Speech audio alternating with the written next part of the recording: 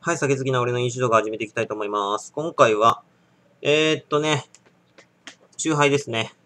えー、っと、焼酎ハイボールのラムネ割りというのが、えー、っと、新しく出てましたね。はい、ラムネ割りね。なんかかなりね、風が強いんで。でアルコール7%で無果汁です。で、甘味料ゼロで、プリン体ゼロで、えー糖質80%オフということで、です。ちょっとうるさいな、これな。戸閉めるか。やけにこの風が強くてさ。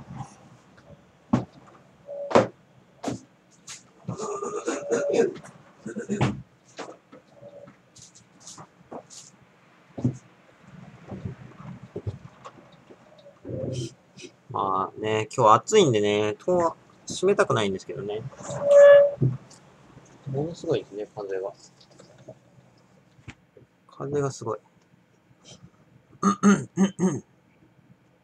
ね。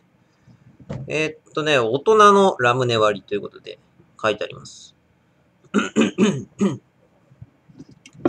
えーっと、後ろになんかね、こんな感じで書いてありますけど。だから焼酎ハイボールは東京下町のうんちゃらかんじゃないな。えーどこか懐かしいラムネは下町の縁日の定番アイテム。あ、縁日なんだ。え、焼酎のラムネ割りは今でも下町大衆酒場で人気の飲み方です。本当かよ 焼酎ハイボールならではの辛口で大人のなら、大人のラムネ割りをお楽しみください。まあ普通ラムネのね、酎ハイって言うと、基本甘いですからね。まあこれは甘くないっていうことなんで、ね。ちょっと興味はありますね。あら乾杯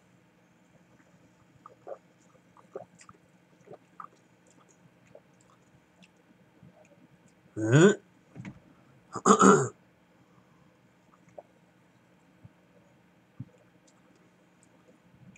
あ、全然甘くないから。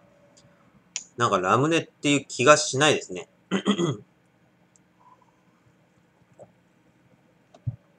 で、香りがラムネなんですよ。うん。まあ、そもそも具体的にラムネって何なのかっていうと、まあ、いわゆるみサイダー？蜜やサイダーみたいな香りがするんですけど、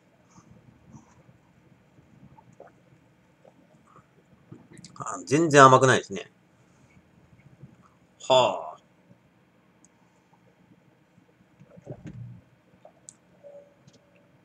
なんか不思議だな。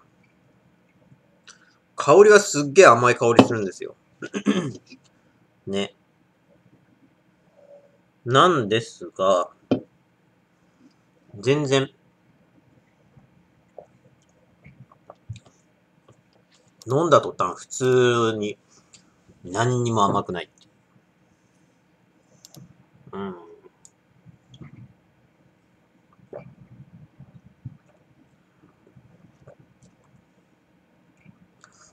なんか微妙だな。なんか微妙。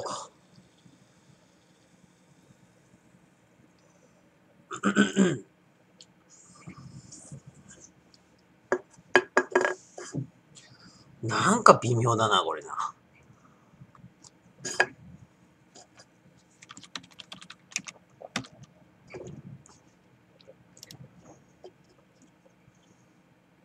うん、大人のラムネ割り。なんかおかしい。なんかおかしい。いや、香りはラムネなんですよ。で、味は、まあ、通の焼酎ハイボールのドライみたいな感じなんですけど、なんか逆にしっくりこないね。それだったらドライの方がいいわって。香りが結局、香料が、ラムネの香料を使ってるのか、うん。ね。みたいですけど。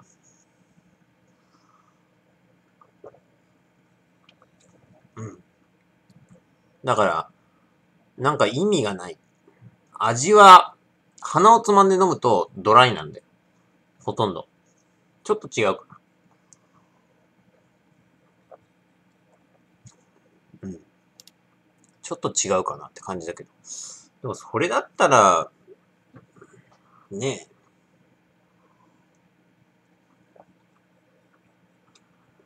うーん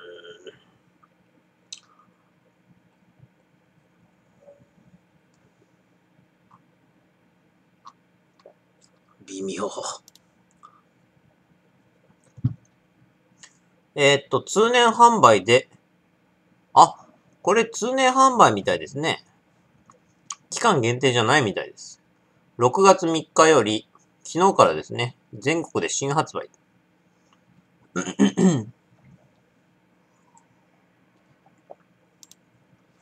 いや、これはないな。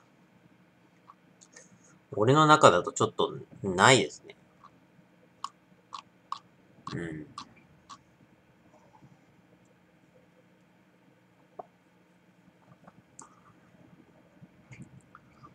うん、ない。なんか、甘くない、ラムネの、の、あの、甘さを一切除いたやつを飲んでる感じ。あんまり焼酎の味も、まあ、するはするけど、いや、これだったらやっぱり、うーん、難しいですけどね。うん。やっぱラムネは甘口だが、が、だからラムネなんですよね。甘くないラムネっていうのはラムネじゃないんですよ。逆に言っちゃうと。うん。そんな気はしますけどね。結局のところ。うん。ラムネって基本的にやっぱ甘くないきゃ、うん。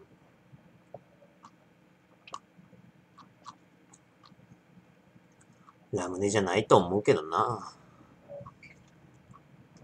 あんまり美味しくはない。これだったら、ね、あの、ドライか、レモン、買いますね。うん。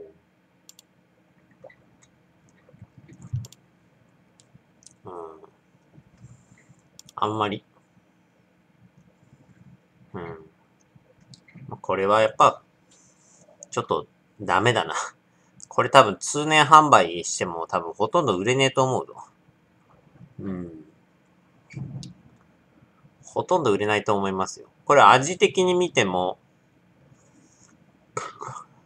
あの、結構、ね。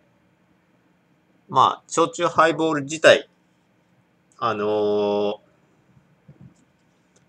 高年齢層向けなんで、うん。で、高年齢層がラムネが好きかっていうと別に好きじゃないでしょ。で、それでいてまあ飲んでみても、ね、これだったらやっぱり、うん。これを買うんだったらですよ。ドライ買うか、レモン買うかした方が絶対美味しい。そっちの方が絶対美味しいと思うんで、俺だったらね、これはないですね。うん。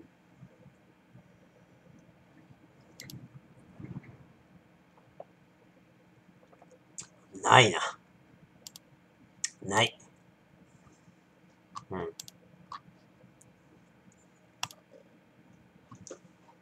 うん。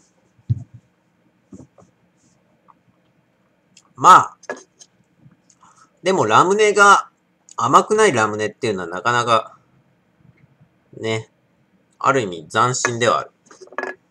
斬新さはある。けども、逆に言うと、それがうまいかっていうと別にうまくもない。それだったら、ね、普通にラムネで、やっぱ甘い、ラムネは甘い方がいいなって、いう感じです。普通に自分でラムネ買ってさ、焼酎で割るわって、なると思います。コクはないでしょ。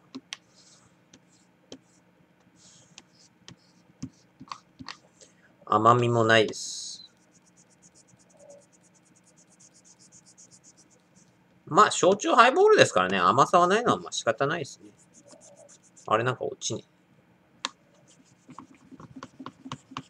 まあ、甘さはないのは、まあ、それは焼酎ハイボールらしい。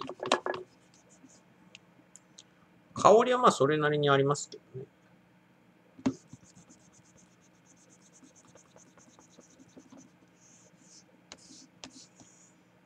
ね、これはおすすめはしません。1132です。ご視聴ありがとうございました。